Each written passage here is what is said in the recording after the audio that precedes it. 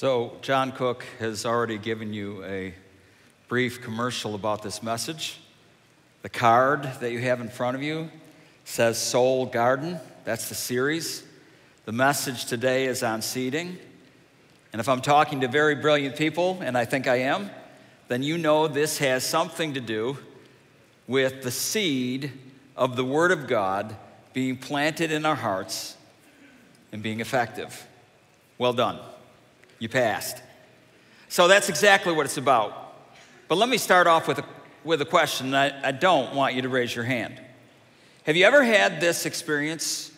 Have you ever had someone in your life that misses the Sunday message and so long about Monday they'll call you or they'll talk with you and they'll say, So, what was the message about on Sunday? I, I, I don't remember. And then there's that awkward time now that we have community groups where you, you, you play out the pastor's message and someone gets called on to give a two minute summary on the, uh, on the message, and, and you're hoping that you're not the one that's picked because you don't remember. Come on, don't pretend you don't know what I'm talking about, right?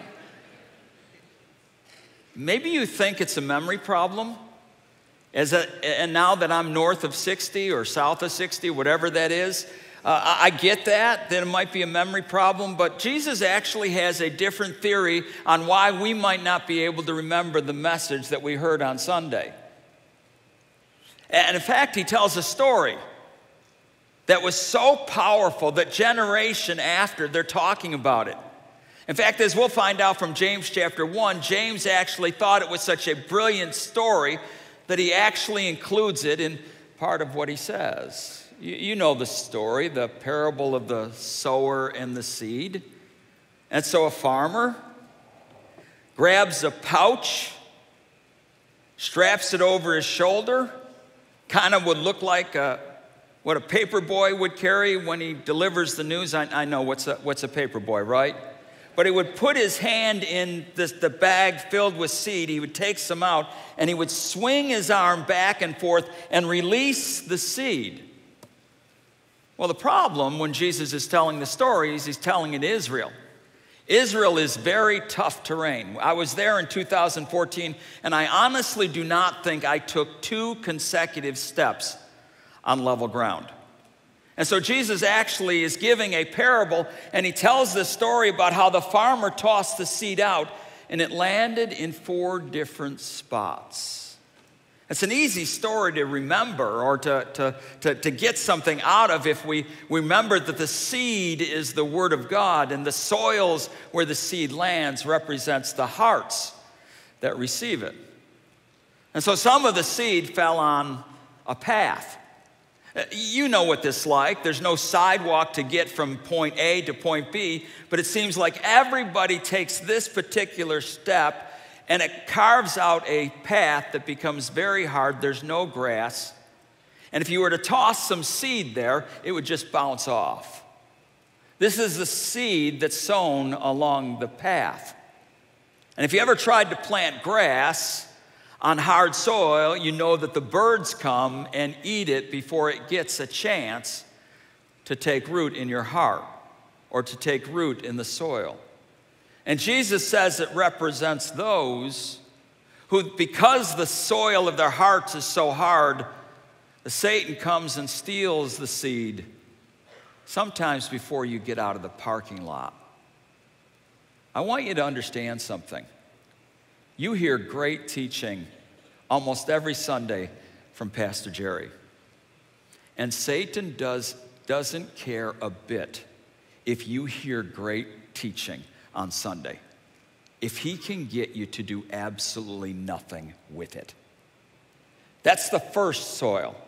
The, the second soil is, is rocky ground, and because there are rocks protruding out of the soil, it, it, it kind of lands on the surface and it springs up quickly, but because there's no depth, the sun scorches it and withers it away. And maybe if Jesus was telling this story in 2020, he might say it refers to those who hear the word of God on Sunday, are greatly excited about it, so that you put a thumbs up on our Facebook page. You really like that message. But because it fell among rocky soil, the sun scorches it. When trouble comes into your life, you default to the old patterns rather than the new truth that God tried to teach you. The third soil, as he's tossing out the seed, falls on thorny ground, and anybody with a green thumb, that's not me, knows that if you try to sow something around a thorny bush, the thorns will choke out the life. And Jesus says, even as Pastor West was referring to last week, this is when the worries of life and the deceitfulness of riches choke out the word. The problem is that you might come in and listen, but the problem when you go out is that you're pursuing the wrong things. And the Word of God is choked out in your life. Then it finally falls on good soil. The seed is nourished by the soil and it bears fruit. And Jesus says, This is like the one who hears the word, understands the word, ready? And puts it into practice. The obedience is the rightful response to the seed that is trying to find room in your heart. As you listen to this story that you're all familiar with, I believe, I want you to understand something today. The issue is not the seed, the issue is where it lands and what happens when it does. The, the issue is not the seed, the Word of God. The issue is where it lands on the condition of your heart and mine and, and what happens when it does. So, like the farmer in that story, Pastor West last week, me today, Pastor Jerry next week, Pastor Jonathan and others, other times, we're like the farmer. We're tossing out seed. The issue is not the seed, the issue is where it lands and what happens when it does. While it may land, quite honestly, today on some hearts that are not ready to receive it or willing to receive it, that's not our prayer. Our prayer is that it, it's received well because the issue is not the seed, it's where it lands and what happens when it does. Jesus prays that it would land on good soil, or I don't think he'd tell the story in the first place. I don't know everyone who heard Jesus tell that story originally in the first century. I mean, I know the names of 12, the 12 disciples heard it. And apparently, so did James, the half brother of Jesus. Either then, because he was in the crowd, or later on as the story circulated it, but James heard it, and we know he did because he uses the concept of the implanted seed in his letter in James. And we'll start here in verse 21. Therefore, get rid of all moral filth and the evil that is so prevalent, and humbly accept the word planted in you, which can save you. James says, humbly accept the word that is planted in you. Let me make it relevant today. Today, God wants to plant a seed in your heart. God wants to plant a seed in, in my heart. And every time you open this book this week, God wants to plant a seed in your heart. James says, humbly accept the word that is able to save you, that's implanted in you and is able to save you. In other words, allow it to take root so that it can bear fruit. He's saying the same thing I did, just in a different way. The issue is not the seed, the issue is where it lands and what happens when it does. So let me pick that verse apart. He says, humbly. Have a posture of humility when you open up the Word. That means that your place is not over the Word, it's under the Word. That means that you submit to it. That means, as our pastor says it, that your yes is on the table before you even open the word. You are going to say yes. Let me speak honestly for all of us. I'm not saying you're necessarily going to like what the, what the Word of God says to you. I'm not saying you're not going to have difficulty at times putting into practice. I'm not crazy about the verse, Husbands, love your wives as Christ loved the church. But I must humbly submit to it. You may not like what God says to you because it gets a little really close to what's going on in your heart. But humbly, he says, submit to it. Say yes to it. Say, God, whatever you say, I will obey. Humbly accept, he says next.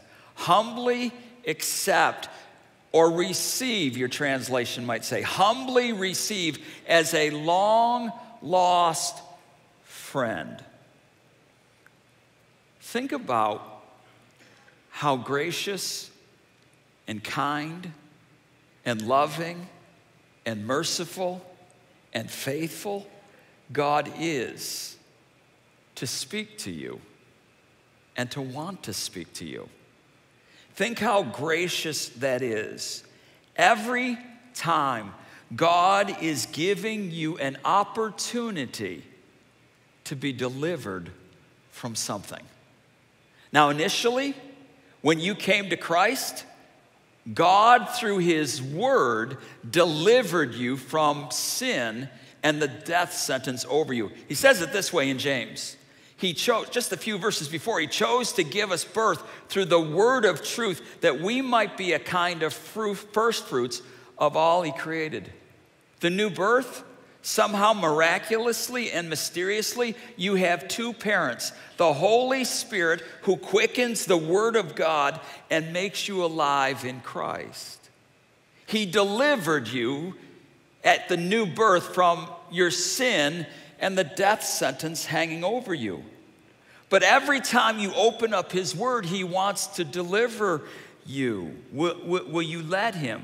He wants to deliver you from that which prevents you from being shaped into His likeness. He wants to deliver you from that lying tongue. He wants to deliver you from that lust, that greed he wants to deliver you from that selfishness. He, he wants to deliver you from how you're treating people. If you let Him, He wants to do that. The implanted word, which is able to deliver you. And that means that I have to see the Word of God. Humbly accept, I have to see it as a friend I'm being honest. I don't dread the word. I'm not afraid of it. I love it.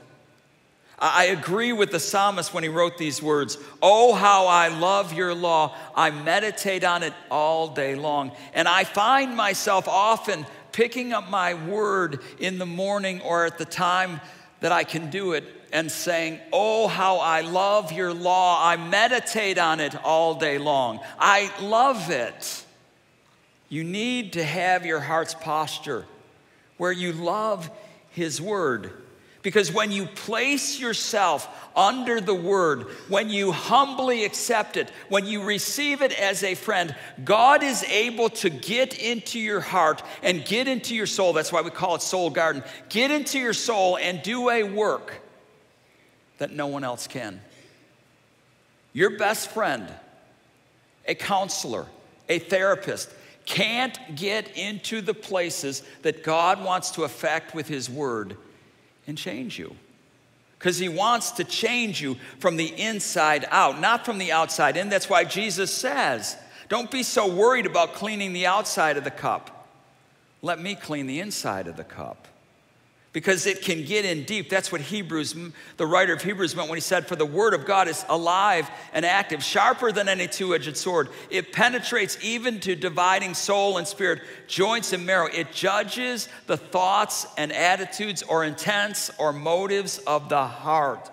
It does a deep work in your life. The implanted word gets at your motives, your intents your attitudes. It doesn't target surface things. It's not interested, the word is not interested in making you a better you by Friday. It wants to change you from the inside out. So, my dear friends, let me tell you if you want a superficial glance at the Word of God, you will get superficial results. Dig the well deep in the Word of God. Dig the well deep. Allow God to get in there because it's not so much you getting into the Word of God as it is the Word of God getting into you. That's what this parable is all about. And so, what happens? Uh, what happens in the soul garden when seeding takes place? There are two parts that I want to see today. I want to see the heart preparation and I want to see the heart evidence. Because you know, as well as I do, even though I don't have a green thumb, that when you begin in the beginning of the year to plant whatever you're going to plant, there needs to be some preparation of, of the soul. I need to prepare the soil. And this is what James says it looks like. My dear brothers and sisters, take note of this. Everyone should be quick to listen, slow to speak, slow to become angry, because human anger does not produce the righteousness that God desires. Therefore, get rid of all moral filth and the evil that is so prevalent, and humbly accept the word planted in you, which is able to save you. I see, because James, the practical book, and James, the practical author, gives to me four steps to prepare my heart to receive the word. Two of them go together, but there are four. So, in this heart preparation, here's the first stop talking so you can listen. Stop talking so you can listen. Uh, he, he, he says it this way My dear brothers and sisters, take note of this. Everyone should be quick to listen and slow to speak. When, when Jesus told the parable that we just looked at, the sower and the seed, at the conclusion of it, he said these words Whoever has ears, let them hear. Do you know how many times God actually says that in His Word? Whoever has ears, let them hear. You, you know He's not talking about these physical ears. You, you can hear that I'm putting noise through my vocal cords, and Kyle back there is amplifying it so that you can hear. You know what physical ears are. It's not what he's talking about. Will you listen with your spiritual ears so that the Holy Spirit can speak to you regarding his word? Every single message in the book of Revelation that Jesus gives to the seven churches he ends with these words Whoever has ears, let him hear. And I would like to suggest, as James does, that you stop talking so you can listen. I'm making a brilliant statement here. You can't do both at the same time. You can't talk and listen at the same time. When Jonathan, Pastor Jonathan, was in high school, he always got good grades. We never, ever worried ourselves about that. But the school he went to, the, the, uh, on the report card, there would be the grade that he would get for this class. And then there were always, the teacher was required to put down two statements underneath. And if Jonathan took seven courses during that particular marking period, seven, uh, most of them, if not all of them, had these two comments. pleasure to have in class, because who doesn't like Pastor Jonathan, right? And underneath that, talks too much. so, you got to realize that at that time in his life, Jonathan fancied himself as the class comedian. So I got that. Like I said, our concern wasn't his grades. Our concern was this if he was talking, he wasn't listening. And that's a problem. The problem with many of us is that we're talking. We're, we're not taking time to listen to what God might have to say about the particular issue that we have because we're talking to everyone else and getting their feedback and them listening to us. Do you think that God said in vain in Psalm 46, Be still and know that I'm God? Do you think it might be a clue that maybe for the Word of God to be implanted deep in us, we have to stop talking about our problems and listen to what He says is, is the solution? You will not become, I will not become what God intends for me to become if I am not and listening to Him praying the prayer of Samuel Speak, Lord, for your servant is listening. Those two things stop talking so I can listen.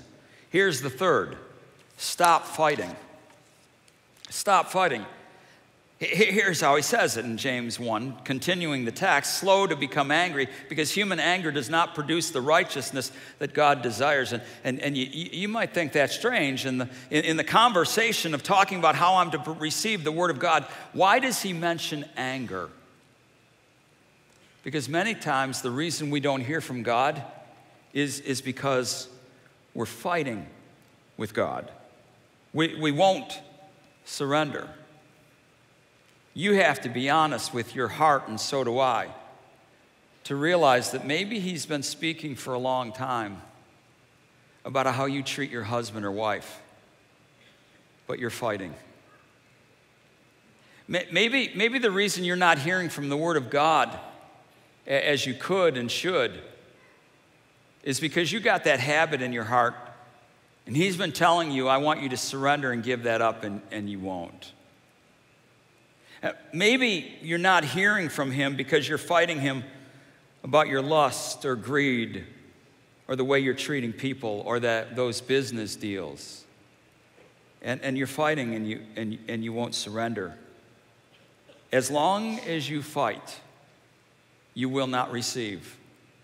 Your heart will become hardened, and the seed will bounce off your heart like the hail was bouncing off my windshield this week. And you won't receive it because you're fighting. Decide today God, I'm not going to fight any longer. I'm going to submit. There, there's another thing he says. He, he says, get rid of things in the way. Get rid of things in the way.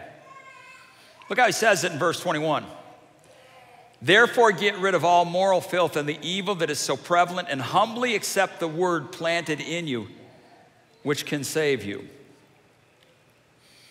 Get rid of the things in the way. The moral filth, that would be addressing what Pastor West spoke about last week. The sin in your life, repent.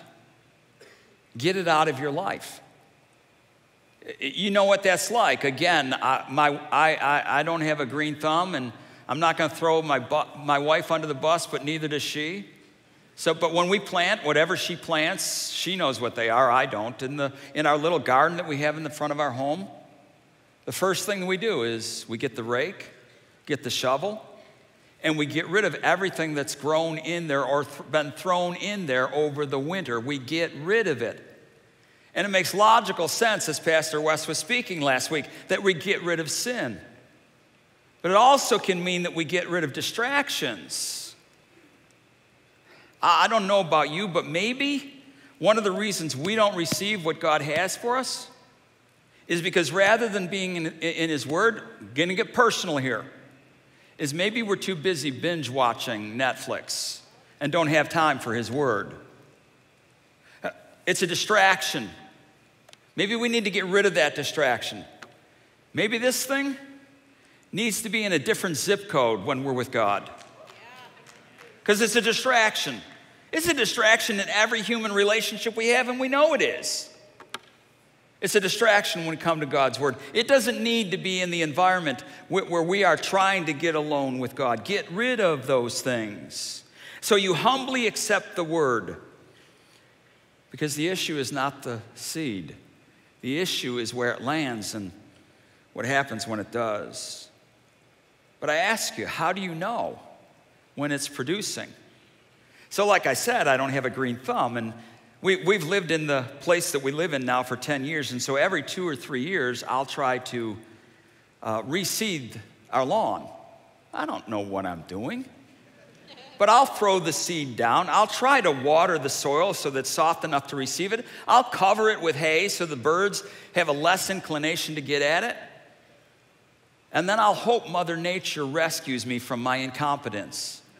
And I'll look and I'll go out there in the backyard and I'll look and wait to see something sprouting up. And when I do, it's like, I'm relieved because it worked, even though it shouldn't because I don't know what I'm doing.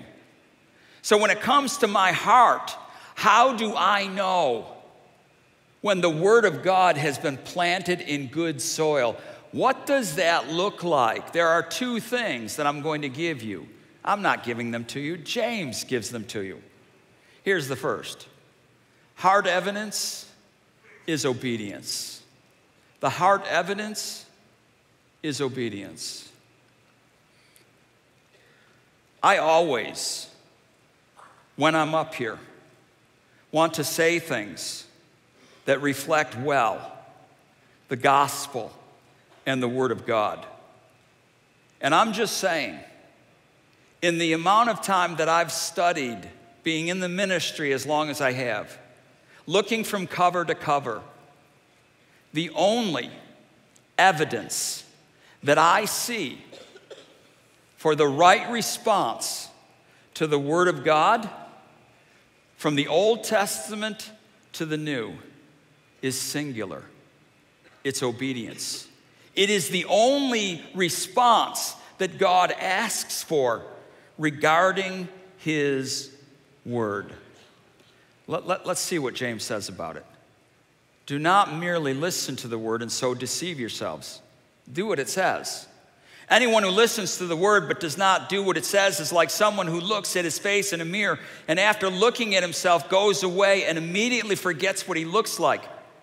But whoever looks intently into the perfect law that gives freedom and continues in it, not forgetting what they have heard, but doing it, they will be blessed in what they do.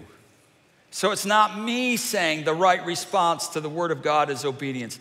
It's James in inspired scripture saying the only response is, is, is obedience. There is no other way to measure the effectiveness of the Word of God in your life than with your obedience to what He tells you. Here's how Paul said it Through him we receive grace and apostleship to call all the Gentiles to the obedience that comes from faith for his name's sake. If you say that you believe, if you are all about God's glory, then you will obey him. And John says it this way This is love that we walk in obedience to his commands. As you have heard from the beginning, his command is that you walk in love. We show that we love His Word and that we love Him by being obedient. And as I said, there doesn't seem to be any other way that we can show either. And when we don't, when we don't obey, Jesus has some stern words. I, want to put this on the screen, this, these words from Jesus, and then explain the background so that you see just how dangerous it is to hear and not obey. Here's what he says I know, he's speaking to the Pharisees, that will become important in a minute, that you are Abraham's descendants, yet you are looking for a way to kill me because you have no room for my word. Now, I realize because of the front part, you might ignore the last part. There is no room in, my, in your heart for my word. He's talking to the Pharisees. The Pharisees, the teachers of the law at the time of Jesus, would have the copy of the Hebrew scriptures from Genesis to, to, Chronicles. Chronicles is the last book in the Hebrew Bible, but all the books in your Old Testament are in there. They're just arranged differently. From Genesis to Chronicles, they would have it memorized. Every word memorized. And yet Jesus says, There is no room for my word in your heart. That should concern us because he said it to smart people. His word found no place in their hearts. And that can happen to us if we listen to the word and do not obey it. if we don't give it the place in our hearts to take root. And that's dangerous because hearing only can cause us, James says, to be deceived. He says, Do not merely be hearers. The Greek word for hearer is akoutes, from which you might hear the word acoustic. Those who hear only. It was often used, that Greek word akoutes, to refer to someone who would audit a college course. They would sit in the lecture hall, but they were auditing. So there were no papers to write, there were no tests to take. There were no quizzes to take. There were no books to read. They were just coming in and auditing the course. There was no responsibility and there was no accountability. They were just there.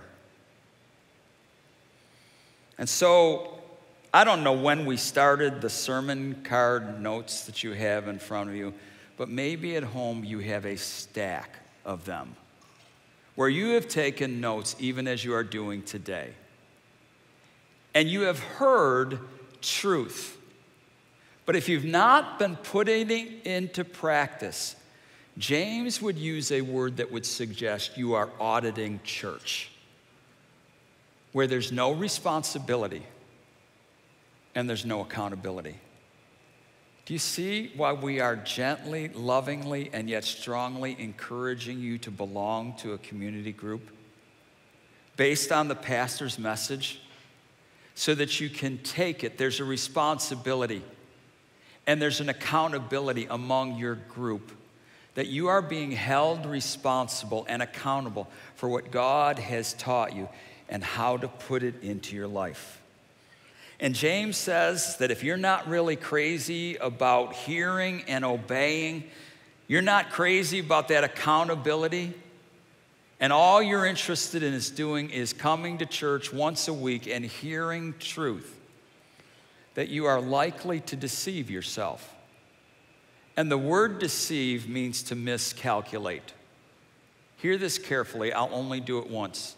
Two plus two plus three equals seven. If you come up with any other answer, you have added wrong.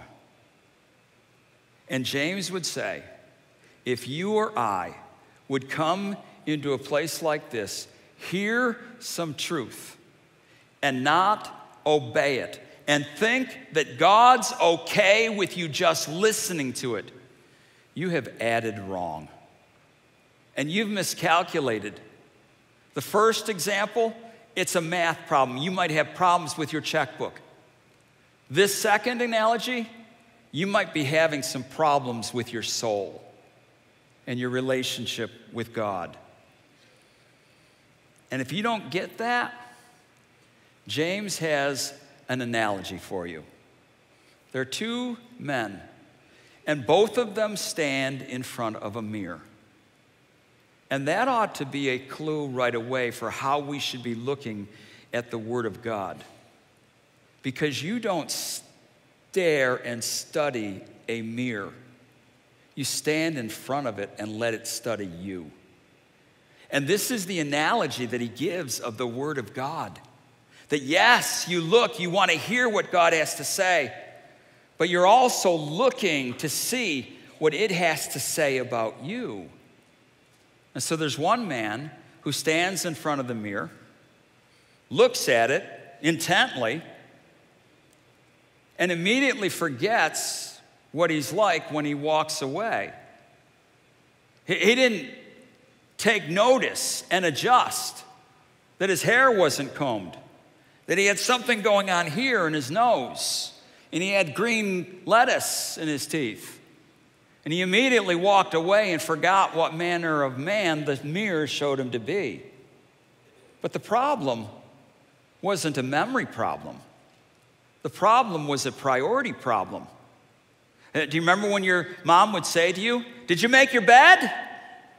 No, I forgot. You, you, you didn't forget. It's not a memory problem. That toy took prominence. That friend that called took prominence. That TV show took prominence. The problem wasn't your memory, the problem was your priority. And if you walk out of here on any given Sunday, if you close your word in the, in the week and you immediately forget what, what God showed you, it's not a memory problem. It's a priority problem. You're just more interested in pursuing other things than you are in pursuing God. The other person looks intently in the mirror, sees that his hair isn't combed, sees that he's got some things going on here, sees that he's got green lettuce in his teeth, and he makes adjustments. He's the one who hears the word and obeys it. He's the one who hears it and obeys it. My friend Kim Holett, who is the director of our spiritual formation team, she has a great question after every time she teaches. And it might seem simple, and it is. Here's the question So what? So what? You, you, you've been sitting here for the last 43 minutes listening to me. So what? So what? You've been in your word in the daytime through the week. So what? What is God asking you to do? Because we do not study the Word of God to know, we study the Word of God to do. So ask that question. So what? It calls for your obedience. But there's a second thing, and of course it's related to obedience, and that heart evidence is restraint. I hope that I'm able to explain this well because every single one of us needs this. Look how James says it in verse 26. Those who consider themselves religious, here's how I'll define it any spiritual activity. Those who consider themselves engaged in any spiritual activity and yet do not keep a tight rein on their tongues deceive themselves, and their spiritual activity is worthless.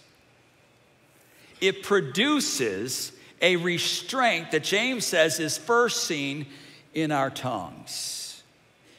Restraint. Here's what that looks like this is why the Word of God deep in our hearts matters. Here's what it looks like that as the Word of God gets implanted in you, your response to, go, to whatever is going on in your life is not determined by what's outside of you, but what the Spirit is doing inside through His Word. And that looks like obedience. And it looks like restraint, where the Holy Spirit actually begins to control your life from the inside out, and that you're not moved and you do not react to what's outside of you rather than what the Holy Spirit is doing. That is a discipline of the soul that God wants to put into each of our lives. Please do not say it's not needed. From the top of our government down, there is such a lack of restraint. And we, as his people, need to be practicing that restraint. That we're actually waiting for the Holy Spirit to give us clearance before we speak. That we're actually practicing restraint when we're typing some kind of response or reaction to whatever is going on in the social media world. We actually pause and ask the Holy Spirit to give us restraint before we press post.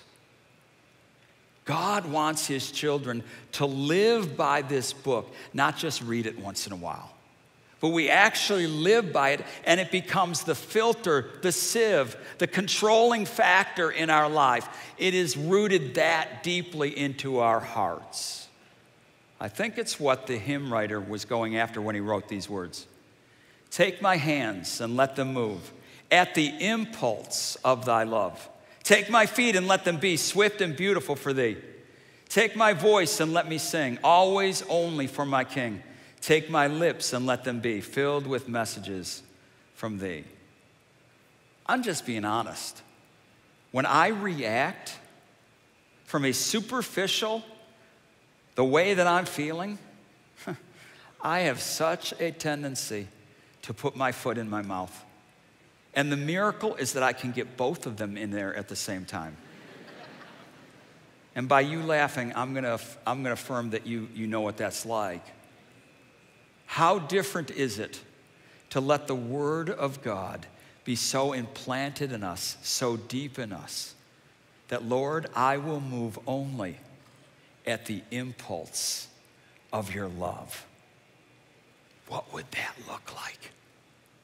for the folks leaving here, shutting down their computer if you're watching online, listening to me, what would it look like if all of us would say, God, I'm going to let the Word of God go so deep that I'm only going to be moved at the impulse of your love?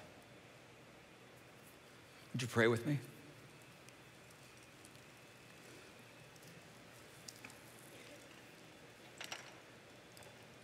Father, I can only reach so deep into anyone's heart, including my own. We've already looked at a verse that says that your word can go much deeper. I pray that it would.